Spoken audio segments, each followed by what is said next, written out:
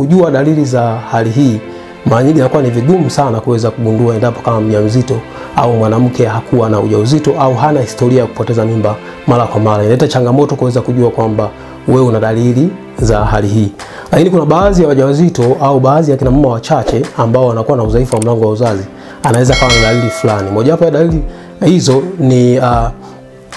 anaweza kuwa anapata maumivu ya kiuno ambayo tunasema kama ni maumivu ya kiuno sehemu ya mgongo kwa chini, lakini pia anaweza kupata maumivu ya kubana kwenye tumbo la chini, lakini pia anaweza kawa na maumivu ya kubana kwa chini ambayo tunaita ni blast, uh, Blaston Hicks contraction ambayo tunasema kwamba anaweza kupata mjamzito na akahisi kwamba ni uchungu, lakini si uh, uchungu. Kuna baadhi ya wanawake wanakuwa wanapata hiyo hali, lakini pia anaweza kahisi kama kuna uh, kitu kinataka kutoka kwenye uke, lakini pia anaweza akawa na dalili za endapo kama chupa imepasuka, anaweza kanatoka na maji, lakini pia wakati mwingine anaweza kaona uh, ile kodi au tunasema kwamba mlija ambao unaunganisha kati ya kondo la nyuma na mtoto unatoka kama chupa imeweza kupasuka, lakini anaweza kawa na dalili za kutokwa na damu kama matone matone ambayo tunaita ni spot bleeding. Hasa uh, dalili hizi mara nyingi haziko specific. Mara nyingi dalili hizi anaweza kapata akawa na labda mimba inatishia kutoka, lakini au mimba imeharibika au anaweza kawa anapata implantational bleeding. Kwa hiyo ni ngumu sana kuweza kujua kwamba huyu mjamzito ana dalili hizi za udhaifu wa mlango wa uzazi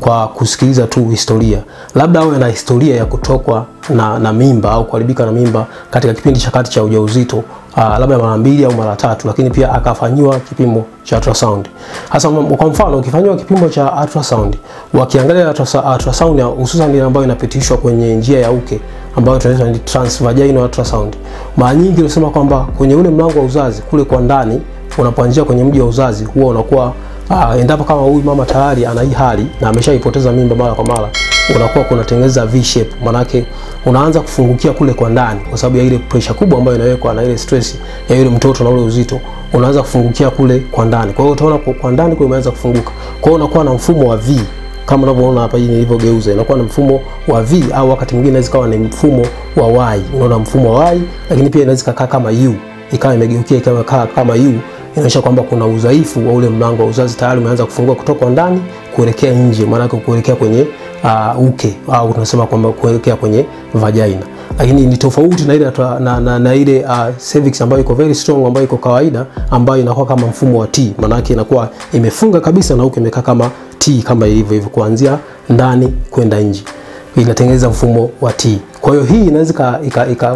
ukiunganisha na zile historia za kupoteza mimba mara kwa mara kipindi cha kati cha ujauzito, lakini pia na ultrasound ikaonyesha kwamba kuna udhaifu na ya, ule mlango wa uzazi umeanza kufunguka kutoka ndani ya mji wa uzazi kwenda nje, inaonyesha kwamba huyu tayari anaweza kawa tukahisi kwamba huyu tayari ana hali hii ya kuwa na udhaifu wa mlango wa uzazi. Hasa endapo umegundulika, maana ili ugundulike unahitaji kuwa na historia ya kupoteza mimba mara kwa mara au ulijifungua mtoto kabla ya wiki 28. Lakini pia ukifanya ultrasound au kipimo cha ultrasound kitaonyesha kwamba uh, ile uh, mlango wa uzazi umeanza kufunga kutoka kwa ndani. Sasa uh, endapo umegundulika na shida hii na umepoteza mimba nyingi, wengine wanapoteza mimba mpaka kumi, na kama nilivyosema mara kwanza, inaweza kapelekea stress, inaweza kapelekea uh, ukawa na mawazo na sonono, na mwisho wa siku inaweza changamoto za kiafya kwa mama mjamzito au uh, kwa mama yote yule au mwanamke ambaye anapoteza mimba kwa hali hii. Na mara nyingi tunasema kwamba anaweza modality yake ya kujifungua ni kwamba mlango wa uzazi unaachia, unafunguka na mama mjamzito hapati maumivu yoyote,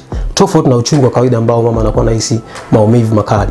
Sasa endapo umegundulika na shida hii, kuna upasuaji ambao huwa unafanyika ambao tunaita ni cervical sacrilege. Cervical sacrilege ni uh, wanahakikisha kwamba wanafunga au wana utaiti ule uh, mlango wa uzazi au cervix ili kuhakikisha kwamba inaweza kudhibiti ile mtoto asitoke mpaka kipindi ambacho mtoto anakuwa amekomaa. Hasa hii huwa inafanyika katika kipindi gani? Endapo umegundulika una hali hii, huwa inafanyika kuanzia mimba inapofikisha wiki 13 au wiki 14